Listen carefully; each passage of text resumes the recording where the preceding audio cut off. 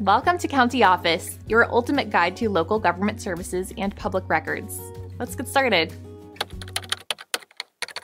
What qualifies you for unemployment?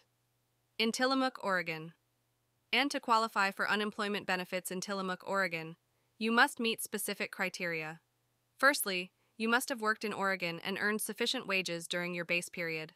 The base period is typically the first four of the last five completed calendar quarters before you file your claim.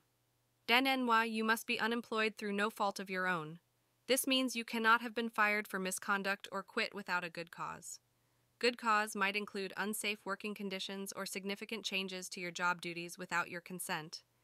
NN you must be able to work, available for work, and actively seeking employment.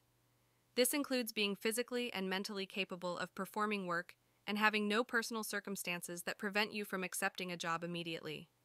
Then na you must register for work and report your job search activities weekly. Failure to comply with these requirements can result in a denial of benefits. Additionally, you must be legally authorized to work in the United States. Non citizens must provide proof of their legal status and work authorization. If you meet these criteria, you may be eligible for unemployment benefits in Tillamook, Oregon. It is important to file your claim promptly and accurately to avoid delays or denials.